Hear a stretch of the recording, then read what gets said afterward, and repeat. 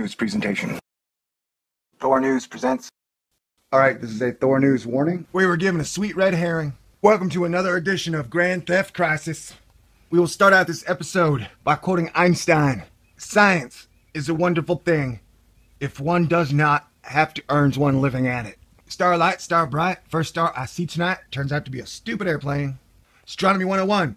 Wait until dark, look up, then be extremely disappointed. All right, looks like we got April Fool in May.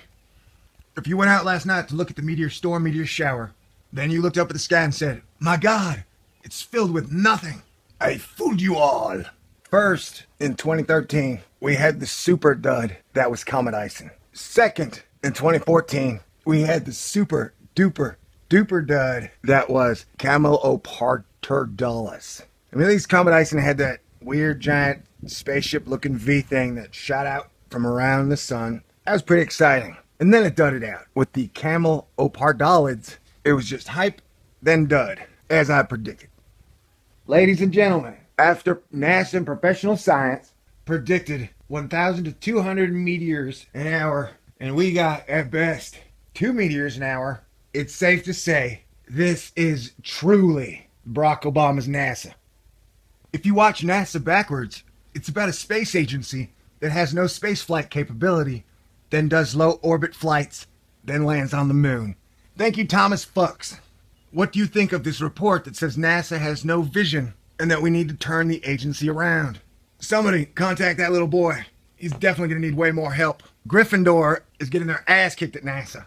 This is like a three card Monty game, only you can't see the shells or the peanut. The dealer just tells you if you win or you lose, you know? And this was hilarious. Space.com was like, yeah, that was brilliant. This article written by Tariq Malik says, New meteor shower thrills stargazers despite low shooting star count. Do you even know what thrill means, man?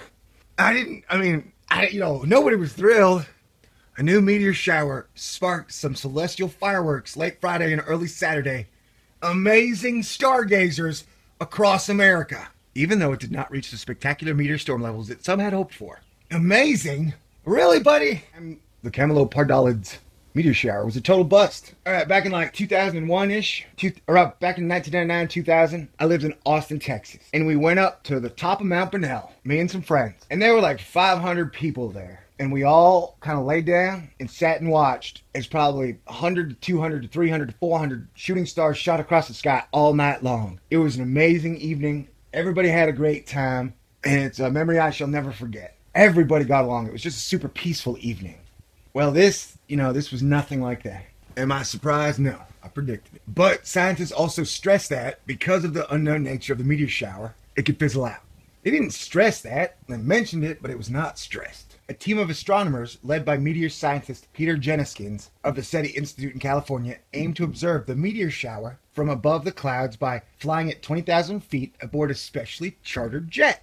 Oh crap, that is impressive. Man, that is one impressive photo.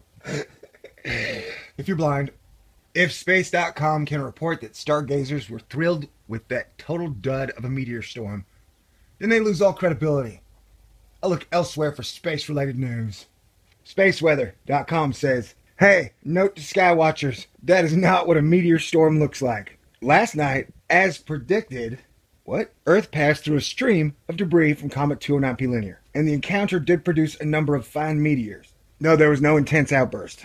And from Space Weather's own Meteor Watch, Fireball Watch, there were less meteors during the meteor shower than on an average night. Now, how does that work? And if you even look at the photographs taken, they are nowhere near as impressive as photographs taken from other meteor showers, or even nights where no meteor shower is supposed to be. Because if one thing you'll notice, government and science never apologizes. They never say, hey, we made a mistake. You know? It's just not in their makeup. It was worth noting and perhaps marveling that forecasters correctly predicted the onset of a never before seen meteor shower. Uh, uh, yeah, dude, I'm not going to marvel at that if you don't mind. In this respect, May Camelopardalids were a success, if not a spectacle. Well, 20 years ago, we could land a ship on the moon. Now we can't even get into low orbit. So, uh, don't pat yourself on the back too hard, man. And when it was reported that this meteor storm, meteor shower, was actually a version of trickle down celestial economics, professional science reported saying, According to astronomy, when you wish upon a star, you're actually a few million years too late. That star is dead, just like your dreams.